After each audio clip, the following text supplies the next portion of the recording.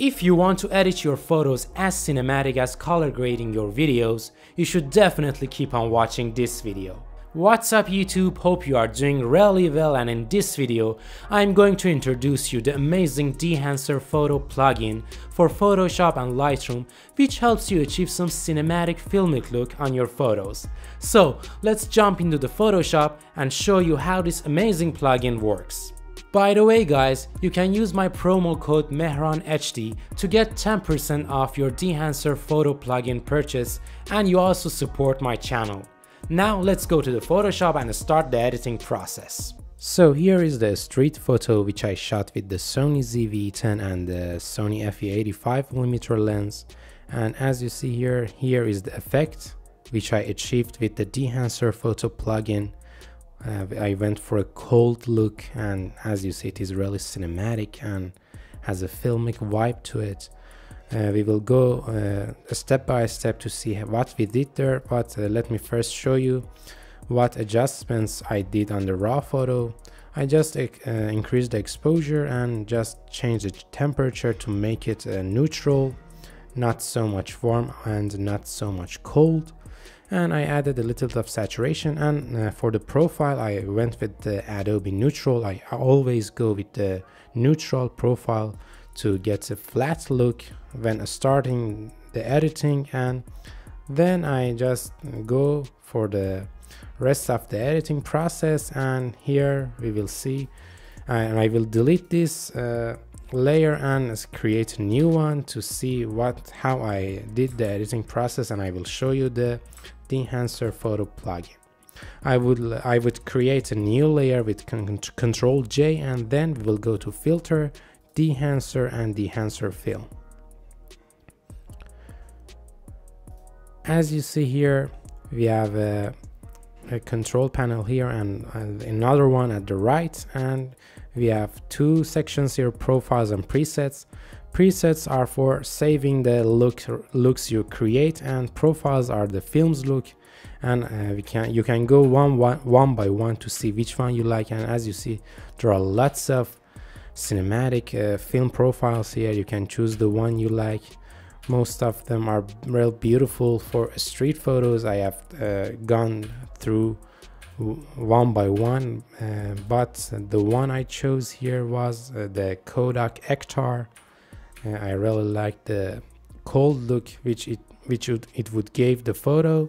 Here is the Kodak let me show you. We have Fujifilm again this is a cold look but I don't like it. It's not really contrasty. I like contrasted looks and here is the Kodak Ektar as I said it gave a cold look to the shadowy areas and this is a good starting base for the photo.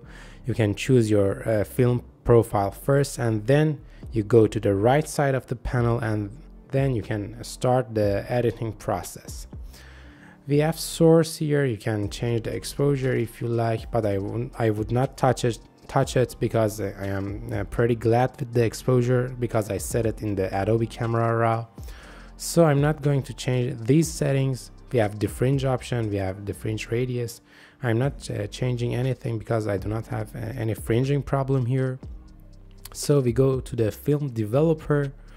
For the film developer I enable it and you can change the contrast. I want to increase the contrast and make the photo more contrasty as you see here. I'm just increasing it and you can uh, come back and change it later. Uh, for now I am pretty glad with the contrast. We have gamma correction again. You can change the white point I think in this photo it's changing the white points and making the whites more contrasty. Uh, it's uh, more affecting the midtones as I see here. So this is a gamma correction. I'm not we can just add a little bit of gamma correction to add some punch to the midtones. We have color separation as you see here. I do not see um, much change here by changing the color separation so I do not touch it. We have color boost and the color boost just uh, intelligently controls the colors and you would not face clipping. Uh, I'm going uh, to decrease it because for a cinematic look you just need some uh, neutral colors and not so much saturated colors.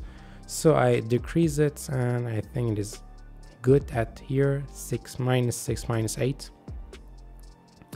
and after that um, I go to expand and then I will uh, explain the film compression. For the expand you can change your black points and white points.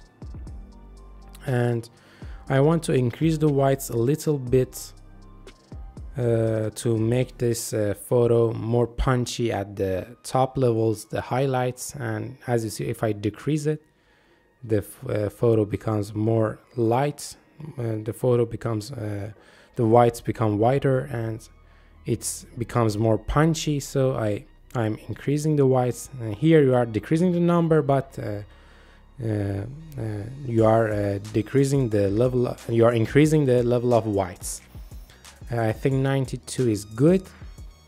And for the black points again, if you, sorry, if you increase the black points, you are getting more blacks, deep blacks at the shadows. I will increase it and I think here it is good. And after that, uh, as I said, we have the film compression. This is uh, such a beautiful effect. This compresses the highlights. If you check here, it compresses the highlights and makes your photo look much more cinematic. And I think 50 is good. And the white point is the level of white uh, which the this effect starts to affect the photo. Uh, I set it at default but you can change it as you see here. I set it at 100 the default number. And here we have a we have the print option this is like uh, printing your negative uh, uh, film on a positive or on a paper. And you have some options here like exposure uh, tonal contrast. And if you increase the exposure as you see the photo will become a little bit lighter. And I'm not changing this a lot because I was pleased with the exposure just a little bit. I think we need the exposure to be increased and after that we have tonal contrast. I like this effect. It makes the shadows uh, more dark. Uh, it uh, makes the shadows darker and you get a more 3d look out of the photo. As you see here the photo becomes more 3d i do not increase it so much because i had uh, boosted the contrast here and i am pleased with this number. And here we have saturation again we can change it. Again I, I will decrease the saturation a little bit here. And after that I go to the color head. Here I like it so much because we can create a warm or cold look. And uh, I mostly want to uh, play with the cyan and red. Mm, if we drag this to left we add cyan. And if we drag this to right add red so I want to make this photo colder so I'm going to drag this to the left. As you see we are starting to add cyan. I think here is good enough. And I want to also add uh, some green to remove the magenta. Now it is becoming much more colder the photo. And here we have a shadow tone midtones tone and highlights tone if I play with this, you will see uh, if I uh, move it to the right, we are adding yellow. And if I move it to the left, it's adding blue to the shadows. So I want to add some blue to the shadows. So I mm, move it to the left and I think minus 30 is good. We get a beautiful cold look at the shadows. We have midtones. Again, I want to add coldness to the midtones. I think minus 8 is good. And we have highlight tones and I'm not playing with the highlights so much, just a little bit of cold tones in the highlights. It's okay right now and it's okay for the color head and let's uh, get to the film grain here. We have the film grain.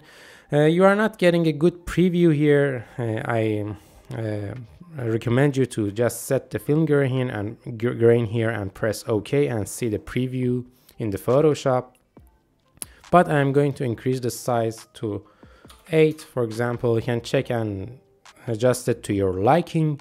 And I will increase the amount so much mm, maybe 80 because I want this to be really cinematic we have a um, option here resolution. Uh, when we add the grain uh, to the photo it makes the details of photo uh, look uh, less. So if you want the details to remain you can increase the resolution. But the characteristics of a film is that the grain is much more present than the details of the photo. So it depends on you whether you want it to be so filmic or not I just uh, wanted to have a little bit of details so I increased the resolution. Uh, this is a not a good preview. It's, it's showing so much grain but it's not that much. So I leave it here and I will show you. And uh, here is the option film type. I wanted to say that uh, I would uh, put it on positive. Now uh, we have a better uh, grain here. I like it more than the negative. It's like uh, printing this photo on a paper or like putting it for a projection a screen projection so I set the film time to film type to positive and here, uh, here you see the uh, grain. Again, this is showing a much more grain here in the preview. If you want to see the final result, you press OK and you can uh, watch it in the Photoshop. Uh, we have halation. Halation adds uh, red halos around the highlight areas. Again, as you see here. If you like this effect, you can go with it.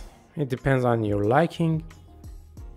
I leave it on. It's not bad we have option bloom here bloom makes uh, uh, the uh, contrasty edges uh, creates a light dispersion effect on the contrasty edges so here as you see we can uh, change the um, diffusion as you see here. It makes the background as you see the lights at the background more diffused.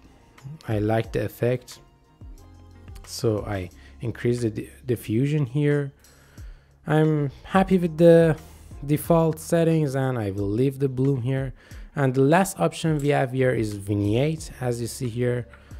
The vignette uh, you know most of you know about the vignette. Creates a circle dark circle around the photo and brings more attention to the subject. So I will uh, decrease the exposure to make the um, around the photo darker. So as you see here here I added uh, much more vignette and here's the final look which I achieved with this uh, Dehancer photo plugin. And if I um, enable and disable the preview you see it made so much difference. I'm, I pressed OK. And here you can see the final results. I really like the effect which you can achieve with this Dehancer photo. I, I previously made a video about the Dehancer DaVinci Resolve plugin which I use for my uh, for color grading my videos. It makes a lot of difference difference guys. If you want to up your game in color grading your videos and photos I really recommend this plugin especially for videos and here again as you see you can also achieve some cinematic vibes in your photos with the Dehancer photo plugin for Photoshop and it is also available for Lightroom. It is it has the same interface and settings, not uh, so much different. And don't forget that you can use the promo code Mehran HD to get 10% off your uh, Dehancer photo plugin purchase. So this was it for this video and if you have any questions about this amazing plugin, please feel free to ask them in the comment sections and I will be seeing you in my future videos. Goodbye!